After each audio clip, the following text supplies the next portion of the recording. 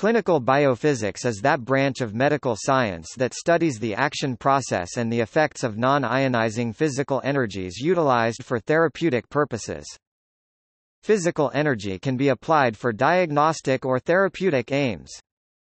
The principle on which clinical biophysics is based are represented by the recognizability and the specificity of the physical signal applied Recognizability, the capacity of the biological target to recognize the presence of the physical energy, this aspect becomes more important with the lowering of the energy applied.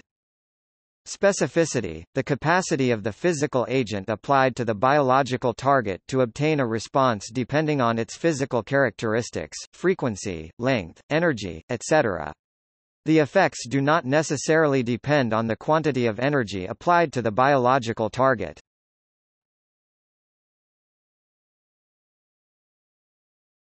Topic. Definition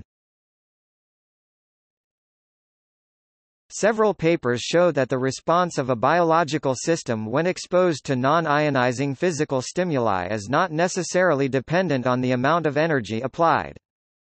Specific combinations of amplitude, frequency and waveform may trigger the most intense response. For example, cell proliferation or activation of metabolic pathways.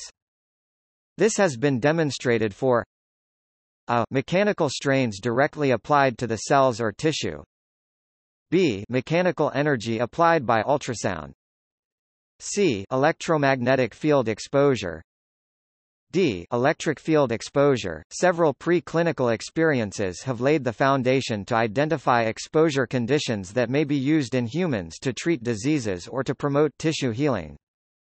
The identification of the best parameters to apply in any particular circumstance is the current goal of research activities in the field.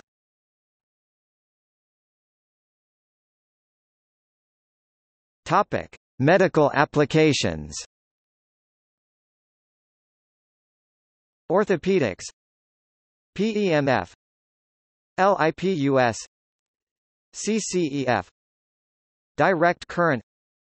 Neurology Plastic surgery Oncology